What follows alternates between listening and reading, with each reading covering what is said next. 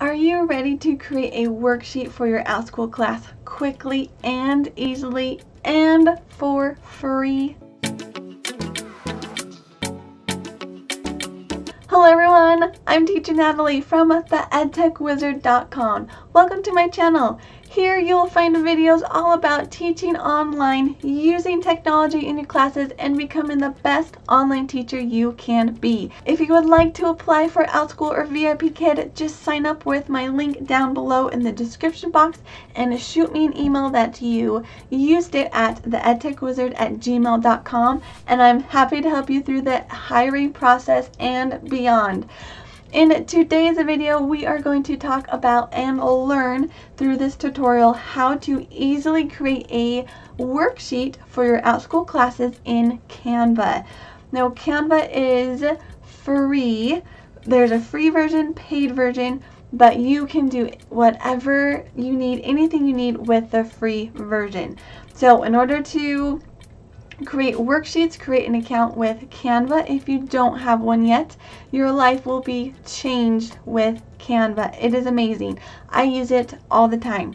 So hop onto Canva and then you can follow along with me as we create your worksheet for your OutSchool classes.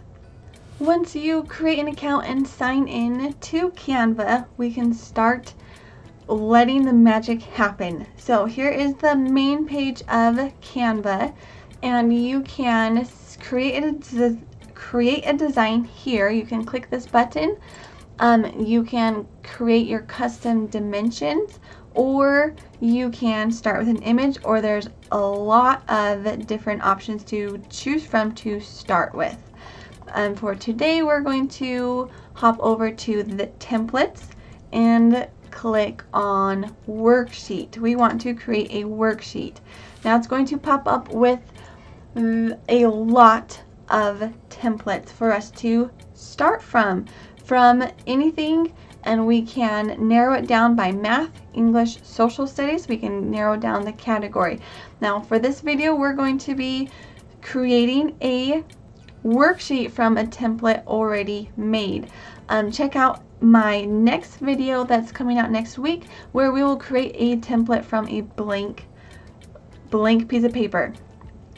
Now, I first things you're going to do is just scroll through, see if any of them matches your class idea and will fit right in or maybe you like the layout and the way things are placed and that might be a good starter for you for what you need, the layout you can edit anything on the text. So we're going to click this on this one and then click use this template.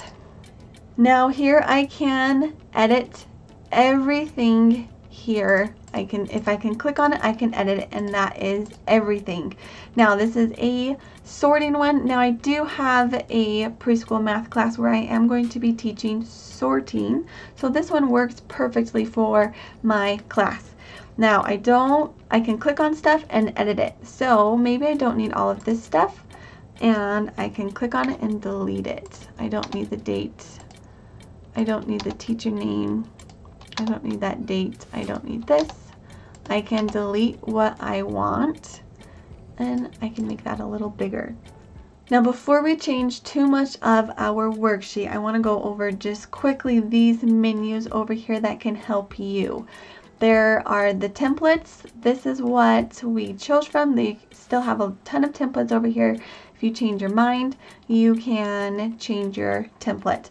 Uploads, these are pictures you have uploaded. Maybe you want to upload your own picture, a picture of yourself, or you have are bringing in another picture from a site like Pixabay or Unsplash that you want to use you can upload it to Canva and then put it into your worksheet. Photos, Canva has their own photo library. You can search um, photos and it will pop up with a ton of photos. Now, there is a free version and a paid version. So if the photo says free, you are free to use that photo. Same with um, elements. Elements are your 2D pictures. So you can search shapes, frames, or you can search anything flowers and it will pop up with a whole bunch of flowers and they're really cute. Text these, this is your text box. You can add in a heading, subheading, a title of body, add it into your worksheet if you need to add more text. If you want pre laid out text, there are these options as well. If we click on it, it's going to pop in right here. And then you can change, oh, let's spell hello right. You can change it right here as well. So I don't want that. So we just click on it and then I, I clicked backspace and it got rid of it. So if you like one of these pre laid out or pre-made texts, you can use one of those as well. Um, music, we don't need to be adding music or videos for our worksheet. And then the background, this is if you want to change the whole background of your worksheet and it will change it. For a worksheet, I'm not going to be using a background, but that is a great option if you use Canva for anything else. So I'm going to just click delete. Now we have the great room cleanup. I'm going to change the color of my images. Now keep in mind if you, this is a worksheet that they're printing off at home, you don't necessarily want a whole ton of color. This might be fine, but it is easier if worksheets are black and white. Now, if I, I can create a worksheet and we can complete it in class, and then I can have color if I want to add it. That's more fun. But to make it, but for printing, printing, I'm going to make them all black. Now, I want to make everything at once black, so I'm going to highlight everything. I just click and hold my cursor to highlight everything, and then I can click on black, and that will make everything black. And then I, I have to click here. This, These are my image colors, and I'm going to click black. Now I want to add another element here. I want to put another flower base on uh, top of my bookshelf. So I'm going to go to elements and let's type in flower vase. See what we get. Awesome, awesome, awesome. I'm going to click this one um, because it is black and white already and I can add it to the top of the bookshelf. Now if you click on it and you see these dots that is how you, you resize it. I can rotate it with these arrows and when it gets small like this it's going to pop up with this um, four plus sign arrows that I can click and drag as well to move my objects instead of grabbing the whole thing. Arrow is very helpful if you are working on the phone app of Canva.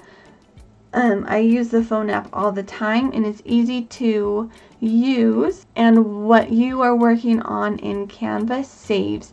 So then whatever I'm working on now, I can now later go work on this same thing in the phone app.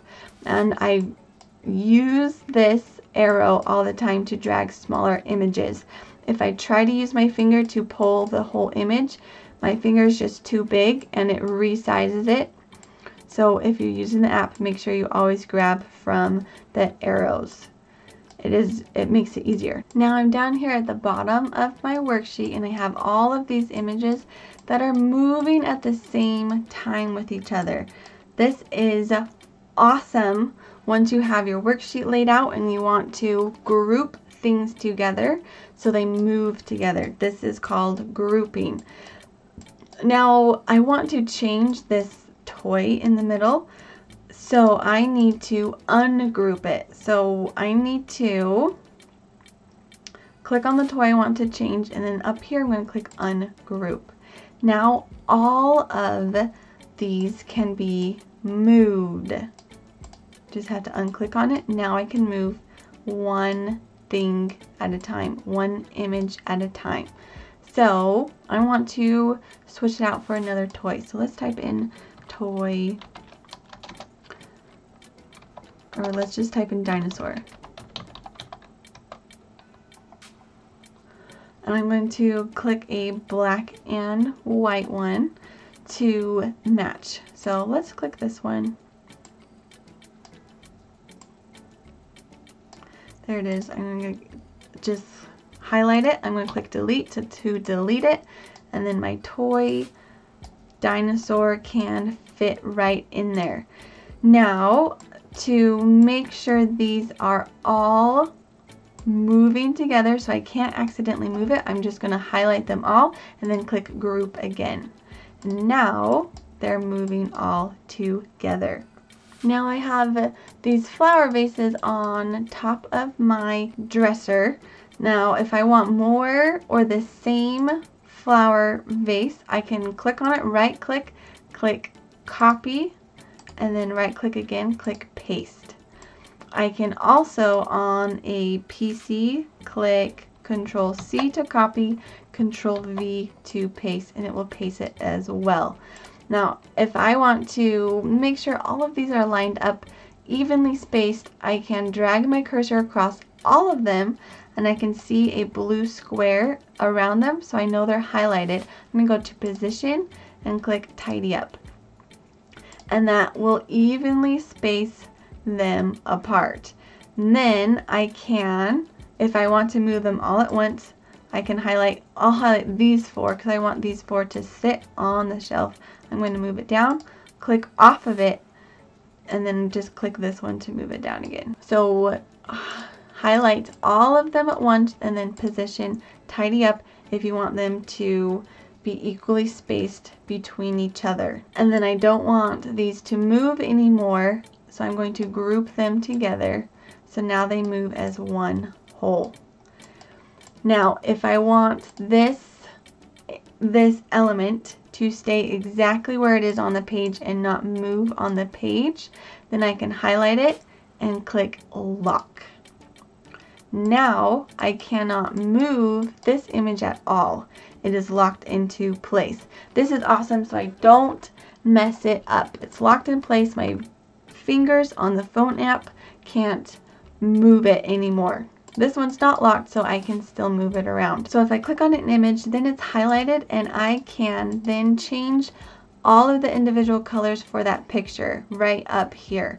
If I click on any picture, that is how I change the color. So here, I'm going to change the outline to black. And then it's, I'm going to keep it as, we're going to change the pink to white. And that is how I can make it a black and white image. Now if I don't like what I did, then I can undo it. There is this button, undo. I'm just going to click it and it can recolor it how I want to. Or I can redo control and it will bring it black to black and white. Um, I use the shortcut on the PC, Control Z, all the time to undo what I just did. That is a much faster way for me, Control Z. Now if I have text on a worksheet and I like how the font looks, I like the size of it, and I want to continue with that formatting, then an easy way is to click on the text you want to copy. Click on the text box you want to copy so it's highlighted. And then you're going to go up here and click the paintbrush. Um, when it turns black, you know it is it's chosen. And then you're going to go to your next text box and click on it.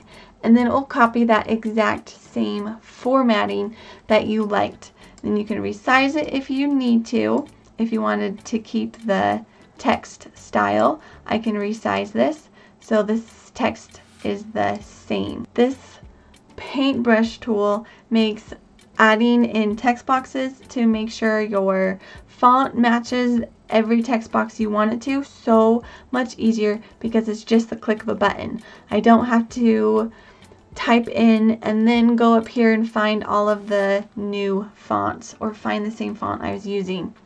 Now to change the font um, you just click on it, highlight it, and then click on the font you want. And there are so many fonts to choose from. Now, if it has a crown by it, you have to pay for that font. But if it doesn't have a crown by it, then it is free. And there are a lot of free options. There's so many free options. There we go. Look at all of these free options to choose from. So cool. And then you can also change the size of your text box. You can change the color of your text here. You can, on some some fonts, not all of them, you can bold it, italicize it, underline it.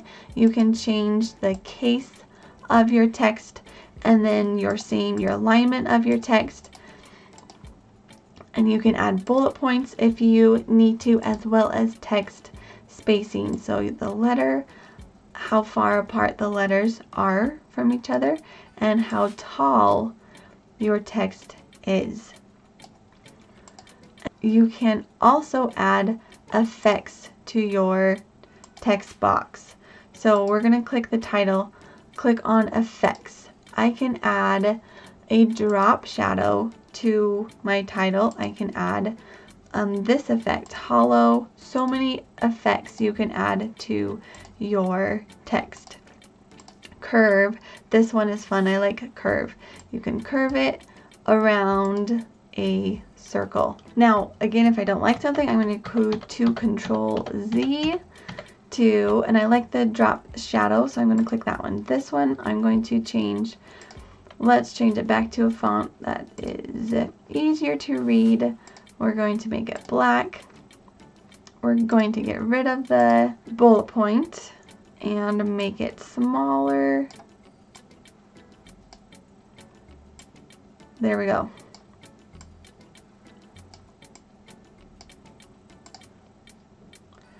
Okay, here is our worksheet ready to go. I can send this worksheet as um, homework and after class activity or we can start this in class.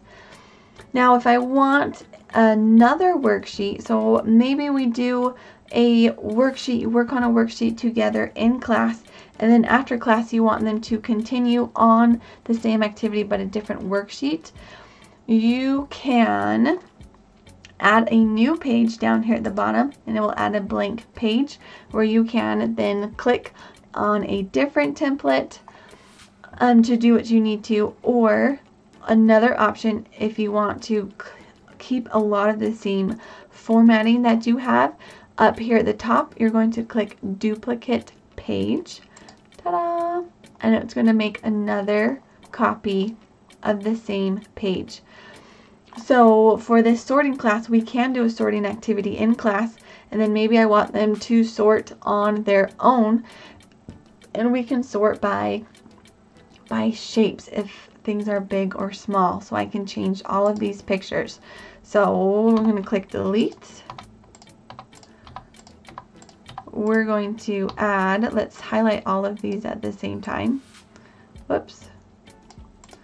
Okay. Now this box created, I'm going to lock it in place. I did not like how I was able to move that um, piece. So I'm going to lock it in place. Now let's add an element. I'm going to sort by big and small objects. So I'm going to click big or put big here. Bookshelf, this one's big. This one is going to be small. So something big. Dinosaurs are big. I'm going to click dinosaur put a dinosaur there. And an elephant is big. Elephant is big. Here's a nice black and white one. Going to resize it to fit in here. Um, a mouse is small. I'm going to resize it to fit in the box. I can, I'm going to turn mine um, a little bit so we can get the tail of the whole mouse in the box. I don't like how that's all black, but that's okay. Okay, let me fill in the rest of this one by one. So here we go. So I finished filling in the rest of my worksheet and you can see they're not quite um, evenly spaced. So what I'm going to do is highlight all of them. I just drag my cursor across all of those, go to position, tidy up, and it moves them for me. Same with the bottom row. Highlight all of them, position, tidy up.